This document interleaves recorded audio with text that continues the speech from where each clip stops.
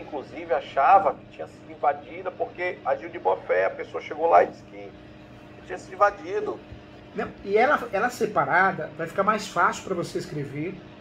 Porque se você for fazer, se o doutor for fazer tudo junto, vai ficar difícil de escrever. Vai chegar um certo momento que o doutor vai se perder mesmo, como qualquer pessoa. Porque não é, não, é um caso complexo. Agora, como separou a tutela antecipada antecedente, depois a emenda da inicial e aí vai cuidar mais do mérito, olha como que vai ficar mais fácil para você trabalhar, como você vai demonstrar que você conhece o que você está fazendo, que domina processo civil. Olha que apaixonante que é, olha que legal. Lá, né, nessa primeira peça, que é a medida cautelar antecedente, o doutor vai fazer o quê? É, vai contar a história, né? Então começa, começa assim. Foi feito o negócio, celebrado o contrato, após a celebração do contrato, é, onde foi acordado o pagamento da tal forma. Pronto. Aí, segundo tópico, é, segundo parágrafo ali, ou terceiro. Mas, infelizmente, tudo mudou. O comprador, sabendo que a propriedade, após a entrega da posse, tem que deixar claro isso. Porque quando foi feito o negócio, foi entregue a posse. Tá aqui, ó, comprador, a posse é sua, o filho é seu. Faz o que você quer. O comprador, por algum motivo, talvez por custo, estratégia, ele não entrou na posse. Ou se entrou, não soube entrar. Não, adentrou na posse como deveria. No meio do caminho, pum, ocorreu invasão. Ele alega essa invasão. Então, nesses tópicos, tem que explicar o quê? Contrato foi celebrado, a forma de pagamento. E aí, mencionar o quê? Que ocorreu uma simulação. Que o comprador criou uma simulação, criou uma situação, alegando invasão, conforme fotos do Google, dá para incluir essas fotos aí. É, ele criou, ele simulou simulou uma invasão, simulou que o imóvel estava invadido. E com isso, é, induziu o vendedor a assinar aditivos. Praticamente, coag, praticamente não, coagindo, coagindo o vendedor a assinar os aditivos. Uma vez que ele simulou. Usando essas teses, ó, já temos duas aí: simulação e coação. E dá para usar a tese lesão também. Lesão também. Por que lesão? Porque eu vou comer, eu vou comer um peixe e salmão. Só que o peixe, ele também é pintado a cor de salmão, mas não é salmão. Então também houve uma lesão.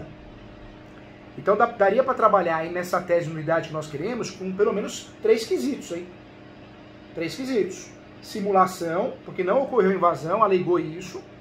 Coação, olha, se você não assinar agora, se você não assinar isso, eu vou te executar, eu vou na polícia. Eu vou, eu vou na polícia, você não vai ficar barato isso não. Com ação. E depois a lesão de fato. Por que a lesão de fato? Porque ele assinou.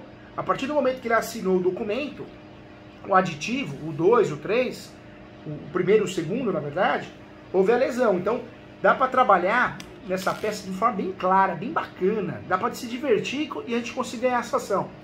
Lá na tutela antecipada antecedente, então, explica lá, foi celebrado o contrato, mas tudo mudou. É, pela ganância, o vendedor, querendo desistir do negócio e não arcar com multas contratuais, com perdas e danos, criou uma, uma situação de simulação, informando que o imóvel foi invadido.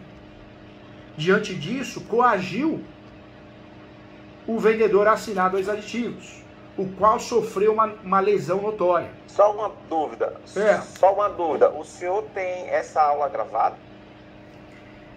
Eu tenho. Eu tenho essa aula gravada, mas teria que procurar, porque tem muita, muitas aulas que eu Não dei. Não essa nossa. Essa nossa?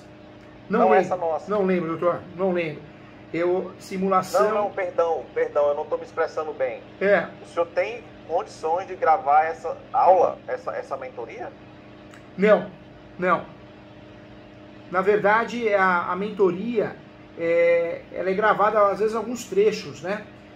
mas eu consigo, acho, recuperar alguns trechos. Se você quiser, eu, vejo, eu, mando para você. Mas eu vou te ditar. É porque eu tô anotando aqui, mas a conversa tá tão boa, tá tão boa, que eu não queria tirar daqui, que eu queria botar aqui no meu celular, se o senhor me autorizar. Claro, depois claro. eu poder riscar direitinho. Como você, como você tá com o celular, você não quer ligar ele pra gente gravar?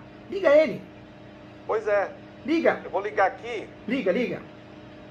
Liga aí, fica à vontade. Aí fica mais. Fica à vontade. Só um minutinho. Gravador. Isso, põe no gravador. Porque o senhor tá falando tão, tão, tão empolgado que pra mim, eu tô até querendo me ouvir, mas tô anotando. Legal. Ligou? Tá ligado? Tá ligado? Legal, ótimo. Ó, então olha que legal, mas é, é verdade, é porque quando a gente percebe que o cliente foi enganado, a gente quer ajudar. E você. Abaixo, né, professor? Oi? Tá bom, tô ouvindo bem, tô ouvindo bem. Mas eu tô lhe ouvindo muito baixo. É. É porque você tirou o fone de ouvido. Você tirou o fone. Você quer incluir o fone? Põe o fone de novo pra ver. Aí, aí, não, aí não grava, né? Aí você vai gravar no seu celular. Você tá, você tá no notebook, né? Então você põe o fone de ah, ouvido. notebook. Então, você põe o fone de ouvido e escuta pelo notebook, no fone de ouvido. Mas aí você deixa o celular gravando. Não, eu tô aqui, eu tô aqui. Voltou normal? Mas como é que... Voltou? Tá escutando bem? Tô escutando bem no, no, aqui, mas como é que eu vou gravar no celular? No celular tem um aplicativo que já deve tá, ter no seu, tanto, tanto o Samsung, o Apple, todos têm, gravador. Ou, ou senão você vai. É, isso. Você, ou vai na câmera. Vai na câmera também. Mas não tá. E o áudio? O áudio. Ah, tá. Você tem que jogar pro celular. Você não sabe fazer isso, né? Não. Não? Então tira o fone. Tira o fone. Eu vou tirar você da sala para você entrar de novo. Só que aí você entra sem o fone. Porque aí você vai conseguir escutar bem, bem alto, tá?